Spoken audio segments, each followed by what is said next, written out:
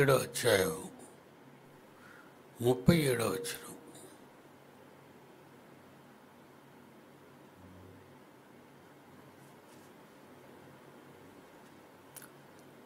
లోక పదిహేడో అధ్యాయం.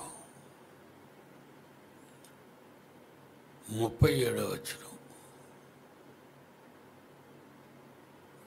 చివరి మాట. ఎక్కడ పీనుగు ఎక్కడ శిష్యులు ప్రభువా ఇది ఎక్కడ జరుగును? ఏది? దేని విషయం అడుగుతున్నారు? వాళ్ళు స్థిరులు కారు స్థిరులు స్థిరులు స్థిరులుగా ఉండటం లేదు. తమ సొంత క్రియలు చేసుకుంటున్నారు. ఇరవై ఎనిమిది నుంచి చూద్దాం.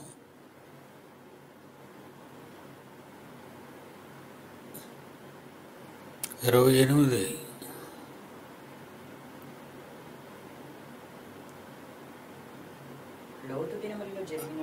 లోతు తినుములలో జరిగినట్లు జరుగును. జనులు తినుచు త్రాగుచు. జనులు తినుచు త్రాగుచు. కొనుచు అమ్ముచు. కొనుచు అమ్ముచు. నారు నాటుచు ఇంట్లో కట్టుచు ఉండిరి. నారు నాటుచు ఇల్లు కట్టుచు ఉండేది అయితే అయితే లోతు సొదము విడిచిపోయిన దినమున ఇలా పరిస్థితులు భయంకరంగా ఉన్నావని ముందుగా ఎరిగిన వాడై లోతు సుధమును విడిచిపెట్టాడు. ఆకాశం నుండి అగ్నిగంధకములు కురిసి ఆకాశం నుండి అగ్నిగంధకాలు కురిశాయి. వారినందరినీ నాశనము చేసెను. వారిని అందరినీ సుధమ గుమరాలో ఉన్న దేవునికి ఇష్టలు కాని వారిని అందరినీ నాశనం చేశాడు. ఆ ప్రకారమే ఆ ప్రకారమే మనుష్య కుమారుడు ప్రత్యక్షమగు దినమున జరుగును. యేసుక్రీస్తు వారు వచ్చినప్పుడు కూడా ఆ రోజు అంత భయంకరంగా ఉంటుంది అని రాబోయే కాలానికి విషయాన్ని ముందుగా చెప్పాడు దేవుడు. ఆ దినమున మిద్ద మీద ఉండువాడు మిద్దె మీద ఉండువాడు. ఇంట ఉండు తన సామాగ్రిని ఇంటిలో ఉన్న తన సామాన్లని తీసుకొని పోవుటకు దిగకూడదు. తీసుకుని పోవటకు దిగకూడదు. అలాగే పొలములో ఉండువాడును. అలాగే పొలములో ఉండువాడు. తిరిగి రాకూడదు. తిరిగి రాకూడదు. లోతు భార్యను జ్ఞాపకము చేసుకొనుడి. లోతు భార్యను జ్ఞాపకం చేసుకోండి. తన ప్రాణమును రక్షించుకొనగోరువాడు. తన ప్రాణాన్ని రక్షించుకోవాలి అనుకునేవాడు. దానిని పోగొట్టుకొనును. దానిని పోగొట్టుకుంటాడు. దాన్ని పోగొట్టుకొనువాడు. దాన్ని దేవుని కొరకు పోగొట్టుకునేవాడు. దానిని సజీవముగా కాపాడుకొను. దాన్ని సజీవముగా కాపాడుకున్నాం ఆ రాత్రి ఆ రాత్రి ఇద్దరొక మంచము మీద ఉందురు. ఇద్దరు ఒక మంచం మీద ఉందరు. వారిలో ఒకరు కొనిపోబడును. వారిలో ఒకరు పైకెళ్ళిపోతారు ఒకరు విడిచిపెట్టబడును. ఒకరు విడిచిపెట్టబడును. ఇద్దరు స్త్రీలు ఇద్దరు స్త్రీలు ఒక్క తిరుగలి విసురుచుందురు. ఒక్క తిరుగులు విసురుచుందరు. ఒకటి కొనిపోబడును. ఒకటి వెళ్ళిపోద్ది ఒకటి విడిచిపెట్టబడున నేను. ఒకటి విడిచిపెట్టబడి నిత్యాగ్రంథనకు వెళ్ళిపోద్ది శిష్యులు శిష్యులు ప్రభువా ప్రభువా ఇది ఎక్కడ జరుగునని ఇది ఎక్కడ జరుగును? అని ఆయన అడిగినందుకు ఆయన అడిగినందుకు అందుకు ఆయన అందుకు ఆయన పీనుగు ఎక్కడ ఉన్నదో పీనుగు ఎక్కడ ఉన్నదో అక్కడ గద్దలను అక్కడ గద్దలు గద్దలును పోగోను అని వారితో చెప్పాను. అని వారితో చెప్పాను. గద్దలు మనుషులు తినేయటం అనేది గత కాలంలో మీకు చూపించారు బొమ్మ. గద్దలు మనుషులు తినటం. నిజంగా మేము ఎలా తెలుసుకోగలం అంటే ఎక్కడ గద్దలు తిరుగుతున్నాయో చూడండి. అక్కడ కింద పీనుగులు ఉంటాయి జంతువులు పీనుగులు కానీ మనుషులు పీనుగులు కానీ అక్కడ ఉంటాయి. ఎందుకు నువ్వు ఆ స్థితికి వచ్చావు? దేవుడు చెప్పిన దేవుడు ప్రేమ ప్రేమగల మాటలు ఎన్నో పాటలు మాటలు రాతలు నా పిల్లలు చెబుతూనే ఉన్నారు. పచ్చి పల్లెటూరు వెళ్ళి చెబుతున్నారు. చదువుకున్న వారికి చెబుతున్నారు. ఇంటింటికి వెళ్ళి చెబుతున్నారు. కరపత్రాలు పంచుతున్నారు. కష్టపడుతున్నారు. తండ్రి కొరకు కష్టపడుతున్నారు వాళ్ళు. భర్తలు విడిచిపెట్టి స్త్రీలైతే పురుషులైతే స్త్రీలను విడిచిపెట్టి పిల్లలను విడిచిపెట్టి పిల్లల పిల్లలను తీసుకొని వచ్చి మండుటెండలో వారు పడుతున్న బాధ చూసినప్పుడు చాలా కలత చెందాను. వాళ్ళు పని చేస్తున్నప్పుడు ఇద్దరు సిక్కైపోయి పడుకున్నప్పుడు వాళ్ళని చూసి బాధపడిపోయాను దేవుని కొరకు. దేవుని కొరకు సిక్కయ్యారు వాళ్ళు. నిజంగా అంటే అది మహాభాగ్యం. దేవుని పనిలో సిక్కైపోయిన వారు చాలా బాధపడతారు. దేవుడు వాళ్ళకి నిత్య జీవాన్ని నిత్య సుఖాన్ని ఇస్తాడు. అదృష్టవంతులు వాళ్ళు పనిచేసేవాళ్ళు గొప్పవాళ్ళు దేవుని పనిలో రోగులైన వారు గొప్పవాళ్ళే.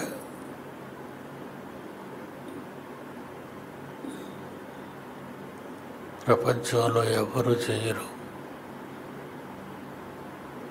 గుడికొచ్చి వెళ్ళేవారే ఉంటారు కానీ గుడిలో పని అప్పగించిన వారు ఉండరు. ఈ పనులు మనం చేయాలని అనరు. ఎంతసేపు ఏదైనా ఎక్కడైనా కూడుకుందామా? పెద్ద పిల్ల అయింది కూడుకుందామా? చావ అయింది కూడుకుందామా? మూడో దినం కూడుకుందామా? జ్ఞాపకార్థం ఇలా పనికి మాలిన పనులు చేస్తూ దేవుడు చెప్పనివి. దేవుని గురించి ఆలోచించరు.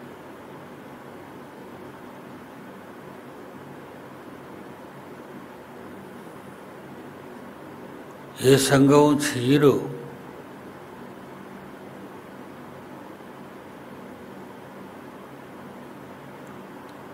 చాలామంది ఆశ్చర్యపోతారు.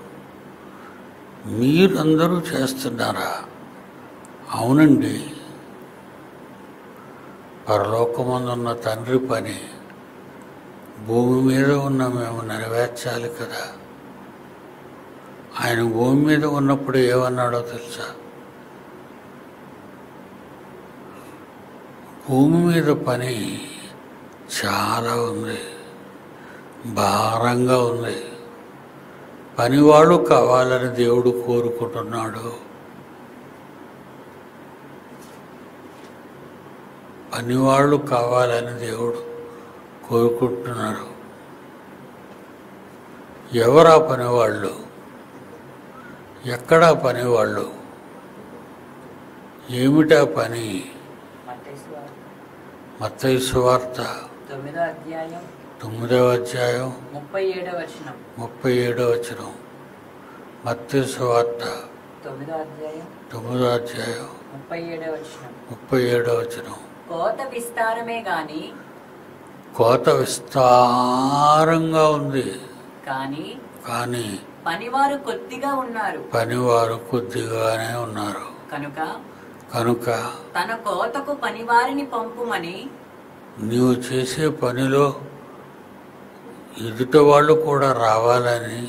కోత యజమానుని వేడుకొనుడని. పాత యజమానుని వేడుకొనుడని. తన శిష్యులతో చెప్పెను. తన శిష్యులతో యేసు చెప్పాను. కోత పనివారు గురించి ఆలోచించండి.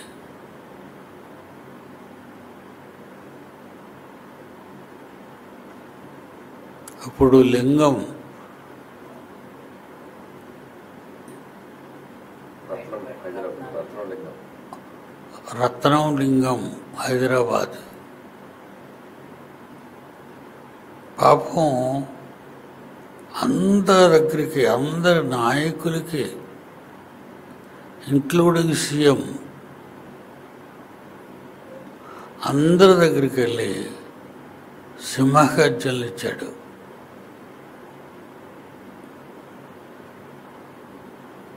ఎందుకు ప్రయాసపడుతున్నాడు? తాను నమ్ముకున్న దేవుడు ఎంత గొప్పవాడో ఆ పుస్తకంలో రాయబడింది. అందుకే ఆ పుస్తకాన్ని పంచుతూనే ఉన్నాడు. ఇప్పటికీ పంచుతూనే ఉన్నాడు. ఇలాగ నా పిల్లలు ఎందరో చెప్పినా చెప్పకపోయినా నేను అప్పగించిన పనులలో బాధ్యులై నిమగ్నమై స్త్రీలు కూడా ఈ పనులు చేస్తూ ఉన్నారు. నిన్న మొన్న ఆ కన్స్ట్రక్షన్లో ఎవరు లేరు పనివాళ్ళు లేరు. మన దగ్గర ఆర్థికంగా మనం బాగులేకపోవటం వల్ల డబ్బులు లేకపోవటం వల్ల పని వాళ్ళని పెట్టుకోలేదు. మన పని వాళ్ళు మన పిల్లలే రమ్మన్నాను అందుకే. ఈలోక ఆడవాళ్ళు సిమెంట్ కలుపుతున్నారు చూడైన ఫోటో. సిమెంట్ కలుపుతున్నారు సిమెంట్ ఎత్తుతున్నారు గమేలలో వేస్తున్నారు. వాళ్ళకి అందిస్తున్నారు. నిజంగా మగవారు చేసే పని ఆడవాళ్ళు చేయటం విశేషం. మేము ఇక్కడే ఉంటాం. ఇక్కడే పని చేస్తాం.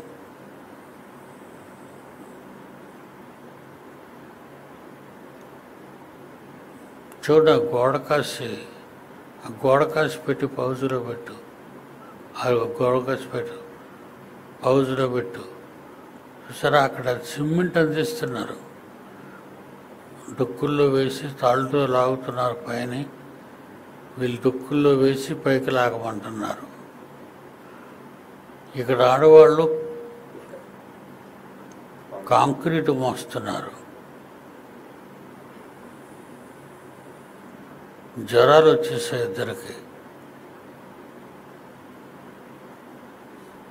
దేవుని పిల్లలారా.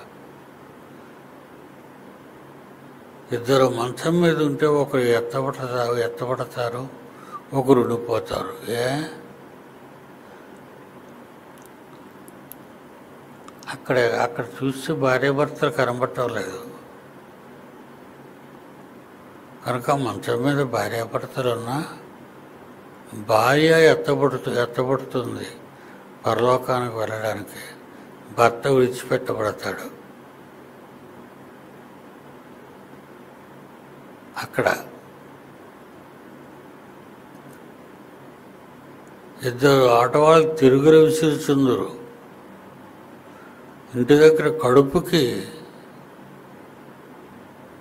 పిండి విసురుకు విసురుకుంటున్నారు.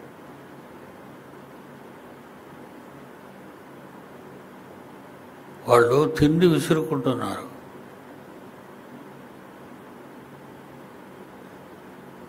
దేవుడు అందులో ఒకరిని తీసుకుపోయాడు ఒకరిని వదిలేశాడు.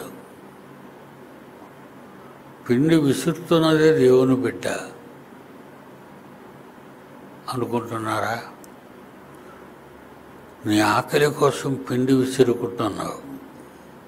ఆమె దేవుని కోసం అక్కడికి వెళ్ళేది తాడు లాగడానికి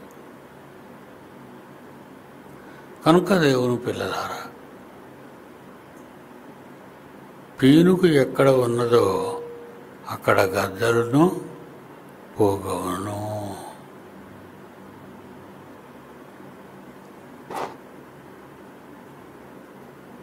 కనుక కాలం సమీపిస్తుంది. భయంకరమైన కాలము.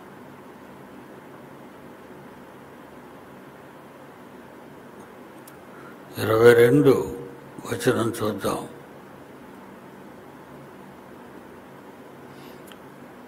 లోకాసు వార్త పదిహేడు అధ్యాయం ఇరవై రెండు నుంచి. మరియు ఆయన తన శిష్యులతో ఇట్లా నేను ఆయన తన శిష్యులతో ఇట్లా నేను. మనుష్య కుమారుని దినములలో మనిషి కుమారుడు భూమి మీదకి భూ భూలోకానికి వచ్చే దినములలో ఒక దినము చూడవలెనని ఒక దినము చూడవల్లని మీరు కోరు దినములు వచ్చును గాని మీరు కోరు దినములు వచ్చును గాని మీరు ఆ దినమును చూడరు మీరు ఆ దినమును చూడరు ఆయన వచ్చేసరికి మీరుండరు. వారు వారు ఇదిగో ఇక్కడనని ఇదిగో ఇక్కడ అదిగో అక్కడనని అదిగో అక్కడనని మీతో చెప్పిన ఎడల మీతో చెప్పిన ఇట్లా వెళ్ళకుడి వెళ్ళకుడి వెంబడింపకుడి. వెంబడింపకుడు వాళ్ళని. ఆకాశము క్రింద ఆకాశము క్రింద ఒక దిక్కు నుండి ఒక దిక్కు నుండి మెరుపు మెరిసి మెరుపు మెరిసి ఆకాశము క్రింద ఆకాశము క్రింద మరి ఒక దిక్కున మరి ఒక దిక్కున ఎలాగు ప్రకాశించును? ఎలాగూ ప్రవేశించునో?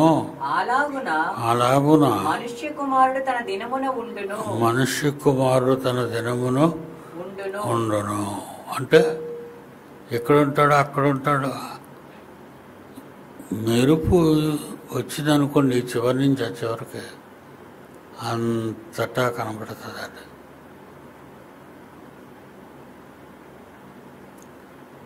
యేసు మహా ఆకారంతో వస్తాడండి. వీళ్ళకి అర్థం కావట్లేదు. ఆయనను మనం క్లియర్గా చూడాలంటే ఆకాశంలో ఉండాలి ఆకాశంత ఎత్తులో ఉంటేనే తప్ప సూర్యుడిని చంద్రుడిని నక్షత్రాలని ఎలాగ చూడగలుగుతున్నామో అలాగే చూడగలం. మనుష్య కుమారుడు మనుష్య కుమారుడు దినము. చూస్తారా? చూడగలరా? పని చేయగలగాలి.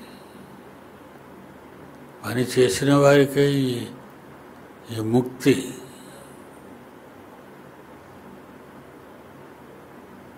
దేవుని కొరకు బ్రతకండి.